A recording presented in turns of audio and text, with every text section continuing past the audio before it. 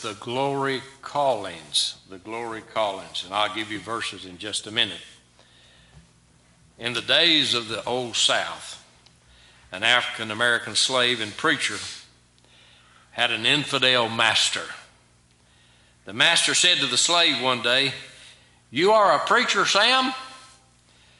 Well, I tells about Jesus some, massa. Well, if you are a preacher, you ought to understand the Bible. Now tell me, what does this mean? And he opened the Bible and read, Whom he did foreknow, he also did predestinate. Words that have puzzled wiser heads than the poor slave. Well, said the slave, Master, where is it? It's in Romans, said the master. Oh, my dear master, I will explain this whole business to you. It is very simple. You begin with Matthew and do all the dear Lord tells you to do there, and then you go on to Mark and on to Luke and on to John. And when you get to that place, it's easy enough, but you can't begin there.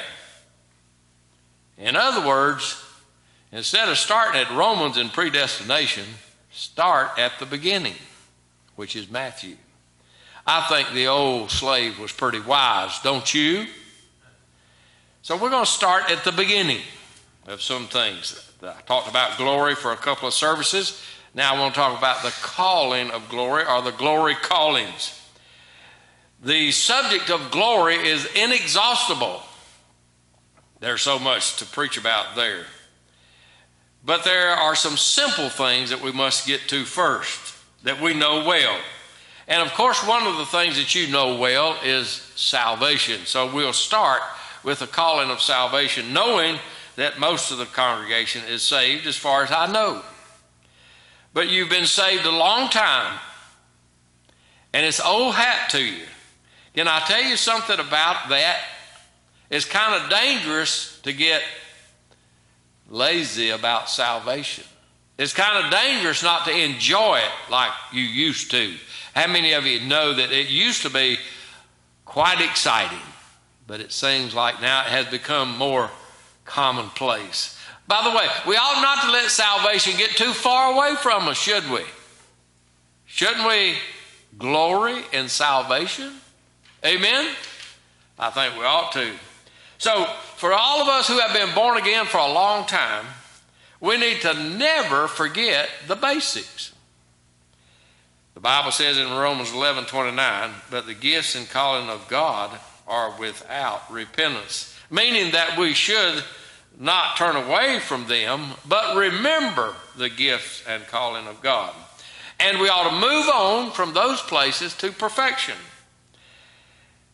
Now, there is the distinct possibility, and I wouldn't know, wouldn't have any idea, but there's always the distinct possibility that someone is thinking that they are a believer, but really not one. That's a possibility. And there's possibility that sometimes people get deceived into thinking that they are a believer. By the way, whether we know it or not, one of Satan's tactics is to deceive people. That's his main tactic. Would you not say amen? He deceives people. And sometimes even good people who think they're saved may simply be deceived by Satan. Well, I want you to know something. If a person thinks they're saved and they're really not, Satan's having a big time because he says they won't ever get saved because they already think they are saved. That's a good tactic of Satan, but it's a bad tactic, of course. We know that. But why would anyone want to even desire to be saved if they already think they are saved? So Satan does have a tactic of deception and he deceives many good people into thinking that they're saved. I talked to a fellow this past week, and uh, he says something like this said, I have been saved many times. That's kind of sad, isn't it? And he says, I also smoke pot, and I also drink beer. And he said, and I believe in Jesus Christ, and I've been saved many times, but I also believe in karma. And the good and so on brings you good things. Well, I told him that he needed the Lord. Wouldn't you tell him that? And I say, you, you just need to, you know, come to church and get right back, get right with God if he's not right with God. I don't think he is. Do you? And anyway, so I tried to encourage him a little bit. But uh, anyway, we'll pray for that fella. You know what they call him? They call him Wild Man. And he's like that for sure. But one way that one can be assured of their salvation, and this is one of the thoughts that I want to bring out tonight, where the callings of glory are the glory callings. One way that one can be assured of their salvation is the unadulterated love for other believers. Now, we're going to celebrate the love of God here in about a month. And so let me just say this one of the things that you know and that I know has to be in the heart of a believer is the love of God. The Bible says in 1 John 3:14, "We know that we have passed from death unto the into life because we love the brethren. He that loveth not his brother abideth in death." Now I know, I believe, I really do believe this that you have the love of God in your heart. But here is the questions that we must ask ourselves. If there's any iota of a doubt, do I really have the love of God in my heart? Or does hatred reign there? There are telltale evidences that surface as hatred reigns in the heart jealousy and envy. Jealousy and envy are evidenced by gossip and ill will toward our fellow man? Do we love each other or are we jealous of each other? Are we envious of each other? Do we take behind the back verbal pot shots at others? I want to I want to I want to make that I want to say that plain and distinctly. Do we take behind the back verbal pot shots at others? That's a good indication that there's not a heart of love that there ought to be there. Suffice it to say, many professing Christians have the characteristic of a heart of hatred and not one of love. John the Apostle, in his first letter, writes much about the love of God. He also tells us about our deeds. Therefore, another way to tell that we have real salvation is not only the love of God in our heart, but what are our deeds like? Here's what he says in 1 John 3 7. Little children, let no man deceive you. There's that word deceive you. He that doeth righteousness is righteous, even as he is righteous. So that doeth righteousness rings a big bell in my heart. Do we have righteous deeds, doeth righteousness. What does doeth righteousness really mean? Well, someone said doeth righteousness means living an upright life. Matthew 7 15 and so on. It says this Beware of false prophets, which come to you in sheep's clothing, but inwardly they are ravening wolves. Ye shall know them by their fruits. Do men gather grapes of thorns or figs of thistles? Even so, every good tree bringeth forth good fruit, but a corrupt tree bringeth forth uh, evil fruit. A good tree cannot bring forth evil fruit, neither can a corrupt tree bring forth good fruit. Every tree that bringeth not forth good fruit is hewn down and cast into the fire. Wherefore he that wherefore by their fruits ye shall know them. So, what are our deeds like? Are our deeds righteous deeds? So, one thing you can know for sure about your salvation is that you have the love of God in your heart. Another thing that you can know and be assured of is if you have salvation is that you do righteous deeds. The things that you do are for God and not just for you. A ravening wolf, this passage states in Matthew, is like that something that ravages something or devours it. And when that beast, like the wolf, devours, it leaves only a little bit left behind, maybe a few bones and things like that. Maybe a little bit of meat, but not much. A ravening wolf is taking everything he can. And a person who is like that, a person who has deeds that take away instead of adding to. One with unrighteous deeds is always taking and never giving. Can I ask you, and may I ask myself, are our deeds righteous deeds? Giving and not taking. So that person who uses people up as a friend and throws them to the side, leaving nothing behind but an empty, hollow friendship that never was real at all. That person is like that wolf, just taking what they can get from somebody their friendship, maybe their admiration, maybe their quote love. It's not real love. But anything they can get from them emotionally, they desire it and eat it up. But they leave behind a hollow relationship that has nothing left. They are good friends for a while, but later there is absolutely no friendship at all to be seen. In fact, you would think that after a few months or years, there's not even a friendship that ever existed. Now, that's like that old wolf. He got all the admiration he wanted, got all the attention he wanted, got all the popularity he wanted. But in the end, that person that, that has been used is a shell. So, seeking love like a wolf seeks flesh is a heart that is filled with hatred. Because a person who will use up a person has a heart of hatred, not a heart of love.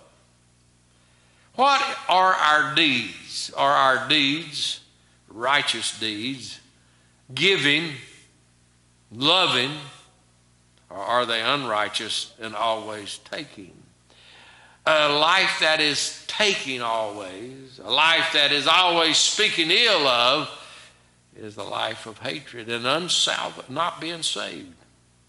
But if a believer lives a life of righteous living, he uplifts others by putting their interest above their own interest. Philippians 2 3 says this Let nothing be done through strife or vainglory, but in lowliness of mind let each esteem other better than themselves. Look not every man on his own thing, but every man also on the things of others. As I read that verse, I'm convicted always. And well, I might be because my old sinful nature doesn't like to put the other person's interest above my own. And neither does your old nature like to put the other person's interest above your own.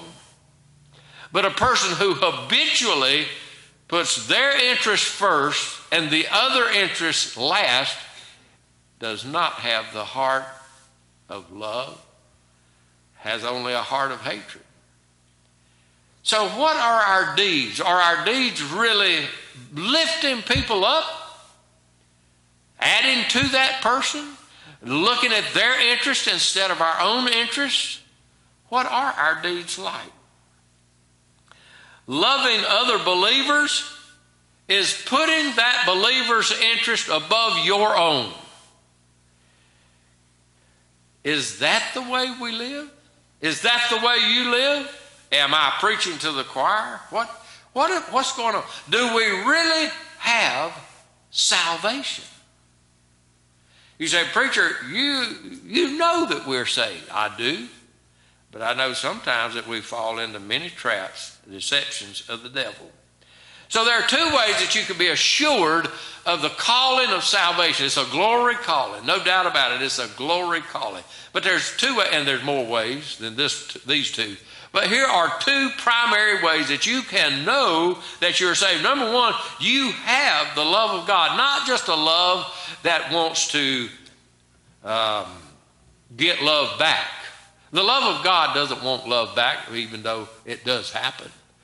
But the love of God loves purely because of love. God loves us when we were yet sinners, and He didn't expect anything back. He still loved us. That's God's love. It's unconditional love no matter what condition we're in. And we were sinners of all sorts, but He loved us anyway. Aren't you glad that God loves us? Unconditional, not expecting anything in return. But if your love is expecting a return love, that's not the love of God. I want that to sink in. If you love because you want to be loved, that's not the love of God.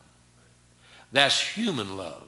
Human love wants to be loved in return.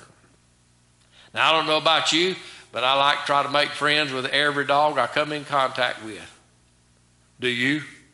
I don't want any dog barking at me meanly. Do you, do you want to be bit? I don't want to be bit. I don't want dogs barking at me. I got a neighbor's dog, and I still hadn't made friends with. His name is Apollo, and he's a male, and he's a dominant alpha. There's for sure. And uh, he won't have a whole lot doing, but he wags his tail and still barks.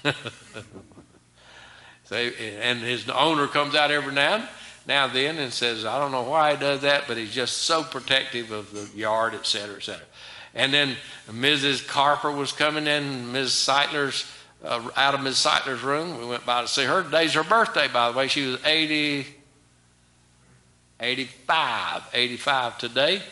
And uh, Ms. Carper, her sister in law, was coming out. And uh, that's Dr. Harold Seitler's daughter, uh, Ms. Carper. And that's Benny Carper's mom. And she's got a little toy, something, what do you call those things? Uh, terrier. And one of those little t- tiny terriers. And he runs all around on a leash and that little terrier was looking at me, didn't bark. And so I got down on the floor and I tried to get him to come to that little terrier wouldn't come to me at all. You know what? I wanted to love the little terrier so the terrier would love me. I didn't want to get bit. Of course, terrier wasn't going to bite me. But you know what? We have animals and we say, I love my animal because they love me, right? Is that right? But that's human love even a dog can love like that. But God's love says, I love you anyway. I love you unconditionally. So, are we putting interests of others first? Do you love other believers? Do you lead an upright life with righteous deeds? Those are two ways that you can be assured of your salvation. We can use those two checks, and there are others, but we, we can use those two checks to see that we have salvation. Then there's another thought about salvation and the calling of salvation, and that is the Holy Spirit of God. Um, I think probably this is one of the best ones uh, that should be considered. We can't let it go unnoticed. The Bible says in Romans 8 9, but ye are not in the flesh, but in the Spirit, if so be that the Spirit of God dwell in you. Now, if any man have not the Spirit of Christ, he is none of his. Do we have the Holy Spirit? And the Holy Spirit's going to change our life and change our thinking. The Holy Spirit is going to help us to think like God thinks. The Holy Spirit is not going to lead us down the road to temptation. The Holy Spirit is going to lead us away from sin. Somebody say amen right there. The Holy Spirit is going to keep us from trying to fall into sin. We often hear the phrase sometimes about a person who really is committed to the cause that they love. Uh, maybe it's politics or maybe it's some other cause. But we say they've got a fire in the belly. And they mean that that person has something stirring inside of them that makes them do whatever they're doing, their political cause or whatever the cause may be. He's got a fire in the belly. We say that about preachers sometimes. He's got a fire in the belly. We get uh, some of that from the old prophets who said they had a fire burning that they could not put it out, could not keep from speaking. So, one thing that I notice about believers is that they've got, quote, a fire in the belly. They want to share Christ. They just cannot, even though they might be timid about it, but they still want to share Christ and they want to try to share Christ somewhere else. You say, Preacher, how do you know that? You take a person that's just been saved a month, and I'll promise you they're trying to tell people about Jesus. And that's a good proof that they really got saved. Amen? So I've seen that in new convert. But I'll tell you something about, quote, the old timers. Something seems to happen to that, quote, fire in the belly. Uh, that Spirit of God that has a, a, a confession of Christ. That's what the Spirit of God wants us to do. Confess Christ. Are we, are we totally trying to do that? Is that, a, is that a concern of ours? Do we really want to do it? I want you to know something. The people that I know that have been believers and have been what I call real, true blue believers, they are the ones that at the drop of a hat, they say, Come here, let, let me tell you about, let me, let me tell you something, and start speaking about Christ. Do you have that in you? Do you have that desire to tell somebody about Jesus Christ? No rebel will inherit the kingdom of God. Wow, I changed thoughts real quickly, didn't I? One who has the Spirit of God will love the Bible. One who has the Spirit of God will be submissive. And no rebel, an unsubmissive spirit, will inherit the kingdom of God. Now, I know that some of us are strong willed. I know that. If, if, if there was a book written on strong willed children, we would be the one in the book. Can I tell you something? That strong willed child has to have his will broken, but not diminished or not taken away from him, but controlled. We call it broken. That doesn't mean it's taken away, it just means controlled. And so we say that child or that horse or whatever it is has to have that will broken. Has your will ever been broken by the Holy Spirit of God? Has it ever been submissive? I know folks that cannot for the life of them be submissive to authority. They have trouble with every single boss that they have. They have trouble with every single preacher that they know. Can I tell you something? Any person who has trouble with authority has an unsubmissive spirit. They're a rebel. Somebody say amen. And the Holy Spirit of God doesn't make rebels. The Holy Spirit of God makes submissive believers. Amen. So, do we have the Spirit of God the Spirit of God that has love, the Spirit of God that confesses Christ, the Spirit of God that is submissive and willing to work with a great spirit. No rebel will inherit the kingdom of God. Listen to this verse 1 Corinthians 6 9 and 10. Know ye not that the unrighteous shall not inherit the kingdom of God? Be not deceived, neither fornicators, nor adulterers, uh, idolaters, nor adulterers, nor fornic- nor effeminate, nor abusers of themselves with mankind, nor thieves, nor covetous, nor drunkards, nor revilers, nor extortioners shall inherit the kingdom of God. Now, you can put rebel in any one of those, but revilers is one of those words that has the idea of rebellion in it. You see, a rebel wants to rule over people. That's what a rebel wants. A rebel wants to rule over you. A rebel says, I'm your friend, but I'm going to tell you what to do. Can I tell you something?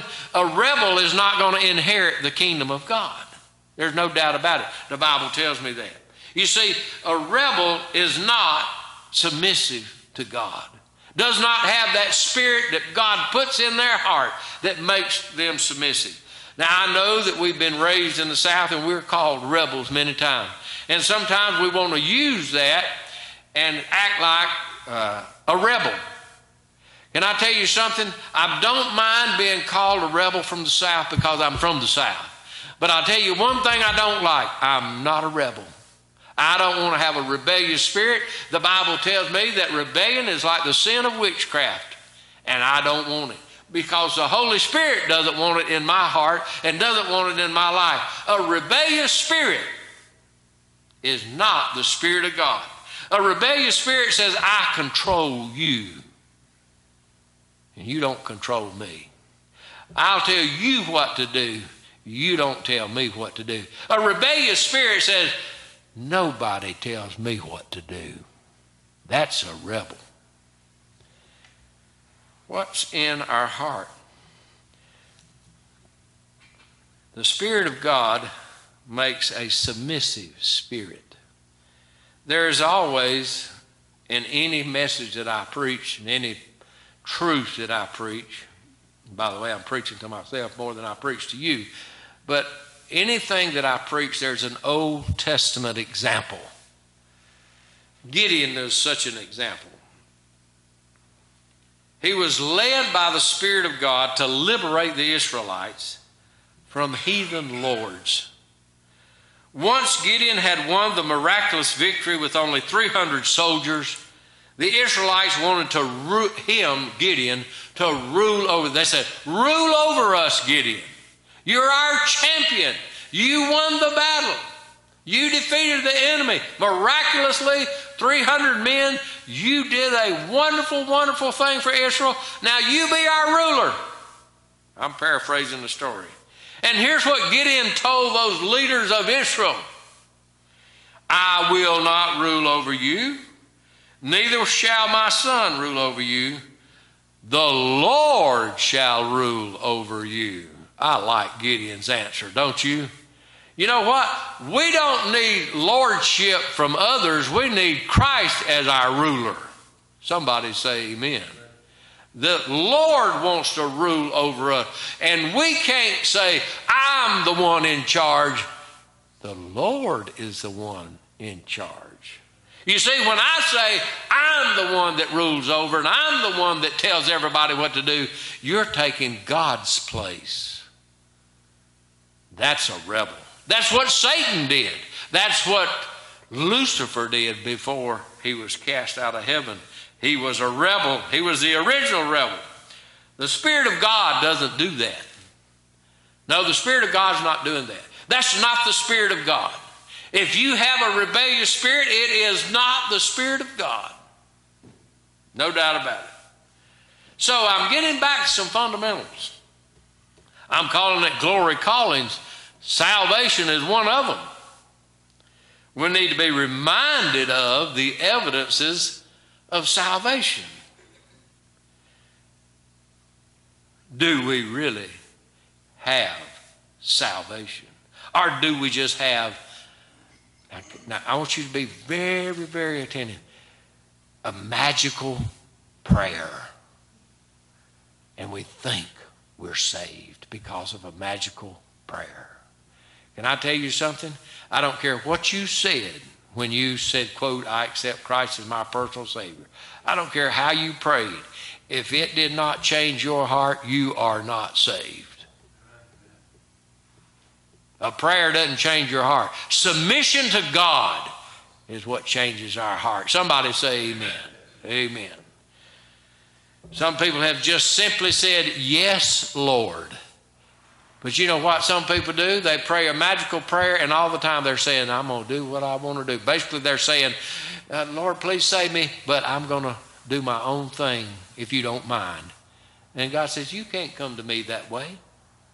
You're not, you're not getting salvation that way. It's a free gift, but you're not getting it with conditions. You can't put conditions on a free gift. Amen? Can't put conditions on a free gift. So the Spirit of God helps us be a submissive. Our nature wants to be a rebel, but the Spirit of God makes us submissive.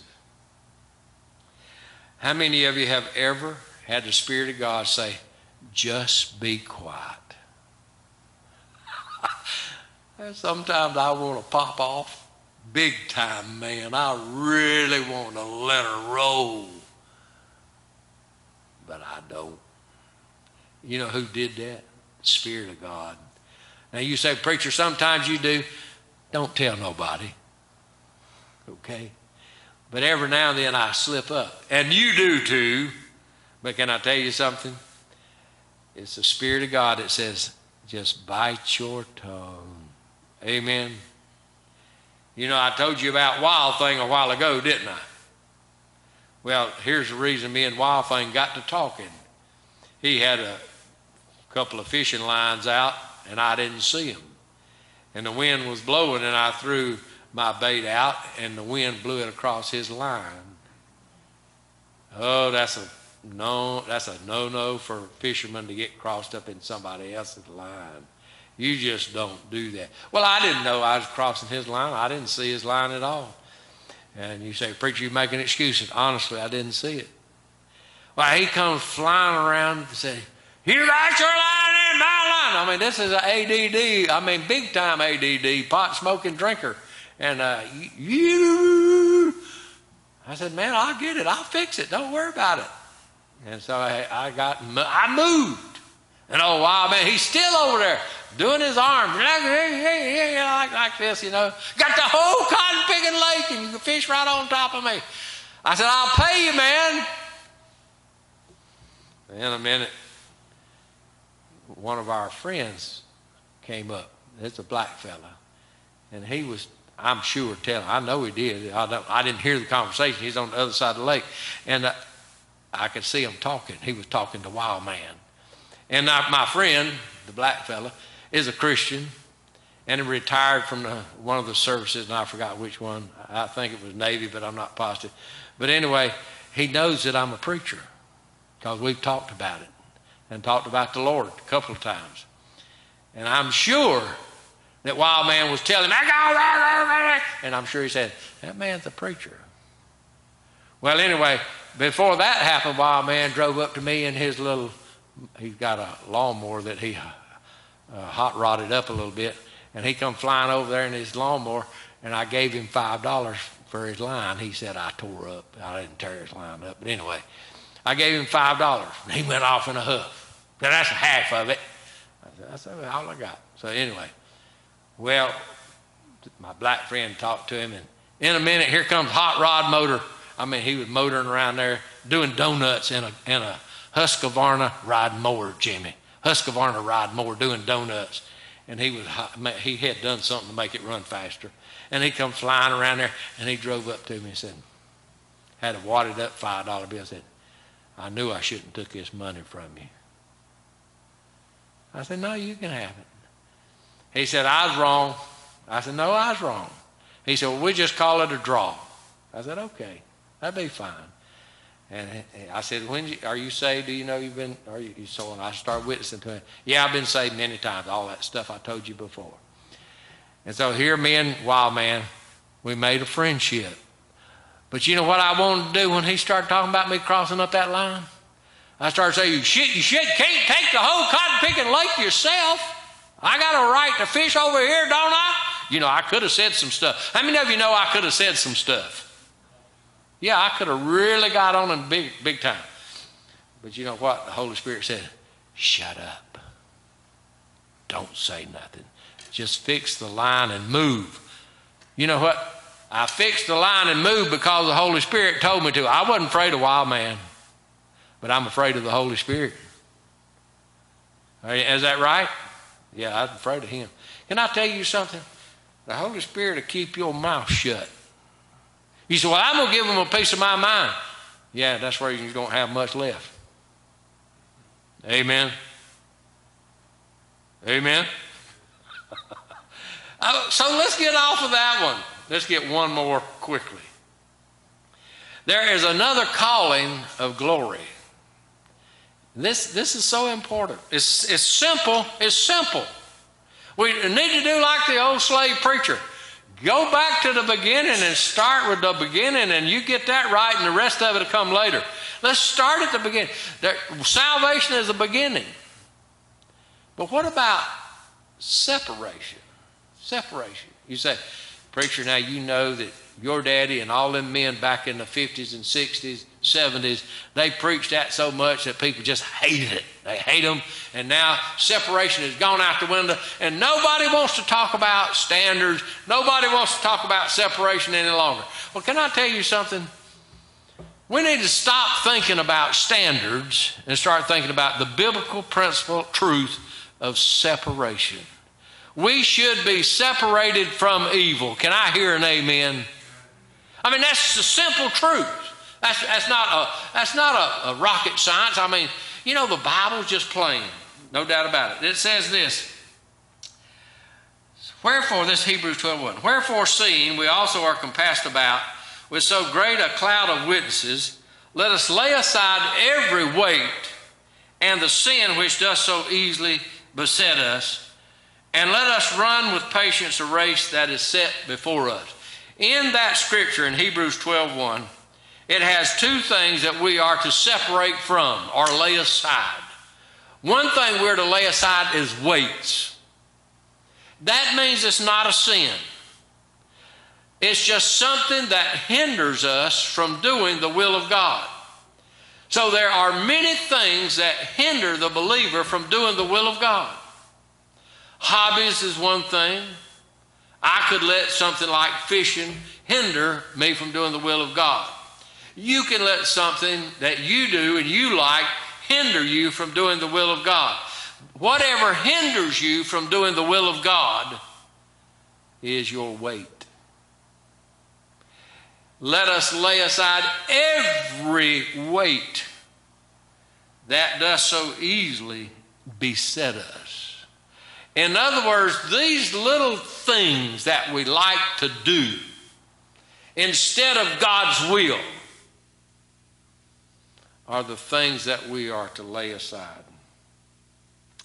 I worked at the A&P for years, and uh, seven years to be exact, in the early days of our marriage and the early days of my employment. But anyway, as many of you know that story. But in the meat market, there was uh, a meat locker, and in the meat locker, there were hooks on rollers that went around a, a little trolley like thing, a rail. And when the trucks came in, the meat market guys would get in there with their aprons on, smocks and aprons, and they would grab those half of a cow or a quarter of a cow, I guess, quarter of a cow, and they would grab the hind quarters of the cow and they would pick it up like this on their stomach and chest, and they would stumble into the meat locker from the truck to the meat locker and rear up and hook the legs right in between the ankle bones or somewhere in there, and they would hook it on that uh, trolley thing on, on that hook up there, and then spin it around, and then they'd go get another one. Well, that hook was holding the weight. And so that idea of laying aside the weight has that which hooks you. So there are things that are hooking us, they are weights. It is something that is uh, hard to lay aside because we say, oh, it's not a sin. It may not be a sin, but if it keeps you from doing the will of God and it hinders somebody else from doing the will of God, it is going to be a sin. It is a weight for sure. Can you believe in this simple principle of separation? we have the simple calling of salvation, but we also have a simple calling of separation that you've heard all your life. Well, where did it go? Did it disappear from the Bible? No, it didn't. It didn't disappear from the Bible. So if a verse like this one in the Bible said, Let us run the race with patience, it, it refers to the runner in a race running. Now, you've been to track meets, I've been to track meets, and you've seen the runners run, and they have the lightest clothing on possible. Now, back in those days, in the Greek days, had very little clothing on at all. But they, they wear very lightweight spikes for their shoes and uh, lightweight uh, shorts and shirts, and everything is as light as possible. They lay aside any heavy clothing, any heavy shoes, or anything like that. They lay it aside because they want to win the race. So we have this analogy of winning the race. They don't wear gaudy jewelry. Now, I'm not talking about whether jewelry is a sin or not a sin, or whether we should lay aside our jewelry like some denominations have believed in the past. I'm just saying these runners in these races don't wear a whole neck full of necklaces. Do you know what? Now I'm going to tell you a pet peeve. Can you hear a pet? You want to hear a pet peeve from a, from me? When I see a baseball player with about three or four necklaces around his neck, and he every time he bats or every time he fields a ball or every time he pitches a ball, he has to tuck these necklaces down into his shirt. I think they ought to take every necklace off of every baseball player. Don't you? There's a, a shame and disgrace. You used to never see that. Can I tell you something? I'm not preaching against necklaces. I'm just saying now they let all these ball players wear all kinds of stuff. It doesn't make any sense. In the past, it used to not be that way. But that's just my personal opinion. But let's look at some weights or hindrances as I close. A weight can be food, a weight can be hobbies, a weight can be work, or other things that we like to do. There are golfers who golf all the time instead of no, never doing the Lord's work. There are fishermen who fish all the time instead of ever doing the Lord's work. There are shoppers who shop all the time instead of doing the Lord's work. There are people that have pets like horses, cats, and dogs, and they take care of them more than they do the Lord's work. There's another verse that says something like this Philippians 4 5. Let your moderation be known unto all men. The Lord is at hand. I'm going to finish with this story. And it's about a fisherman laying aside a weight. I knew this fella in Laurens, and he loved to fish, and he was good at it. And he had a little boat, and he went out on Greenwood Lake almost every day. Almost every day. He even went out on Greenwood Lake on Sunday and missed church. Well, he got to go and change churches and ended up at Faith Baptist in Laurens. And Daddy preached about doing things like that. Preached some of them old fashioned methods, messages on separation that we don't hear anymore. And this fellow says, Well, I can still go fishing on Sunday. It it's not a sin. And so he took his little boat and he went down to Lake Greenwood one Sunday. And he got up under a bridge and tied up. He's fishing for crappie. And he tied up under the bridge and a storm came up. I don't know. I've been on the lake one time when a storm came up in a little old bitty aluminum boat and it scared the life out of me. The waves were just about to come into the boat, and when we docked, the waves did come into the boat. But anyway, I don't like storms on the water. And the storm came up, and he was tied up under that bridge, and that boat was jumping up and down and bouncing off the pylons of the bridge, and it scared this veteran fisherman to death. He said to the Lord, Lord, if you'll let me out of here, I'll never come back on Sunday. And sure enough, he got out of there, pulled his boat up on the trailer after the storm passed by, and never went back on Sunday. Did that stop him from boating on Sunday? Well, let me tell you what happened. I like creative people. My dad was creative. And you know what he did? Took a motorboat and put a loudspeaker on it, and they drove around Lake Greenwood, and they'd see a group over here, and they'd start preaching off the boat. You see, he still got to go to the lake, but he was preaching the gospel, or part of it, using the gospel man. You say, did anybody get saved from preaching the gospel on the Lake Greenwood?